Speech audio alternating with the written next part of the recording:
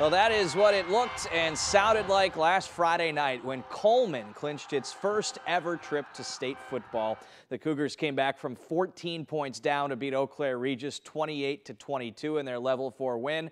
Up next, a road trip to Camp Randall with the entire town of 688 residents right behind them. In a small town like this one, high school sports are everything it just seems to be a little more special when you have a small town have success. And, and this one, uh, in my time here, anytime a Coleman team has success, regardless of the season, everyone backs it. it. It's a truly awesome feeling to be part of. And football is king.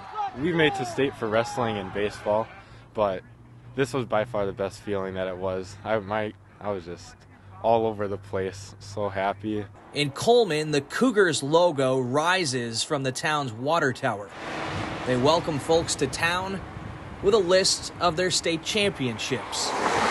Now the 2021 Cougars football team can add its name to that list. That would be awesome. Something something new, something it's history. They've already made history, becoming the first Coleman team to qualify for state.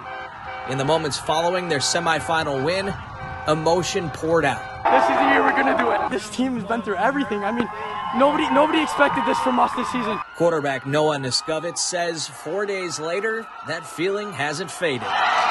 Best feeling of my life, no doubt. I mean, especially in a game like that where it was that close and just just to come come down with it in the end was was unreal. It was a great feeling. And now he says it's time to go finish the job and further cement themselves as their town's greatest team. This one would be special for sure. I mean, those I mean, we've been pretty pretty um good in other sports, obviously, but uh, this this one would be big because this one I feel like football, everyone just bonds over football the most, and this one would mean a lot.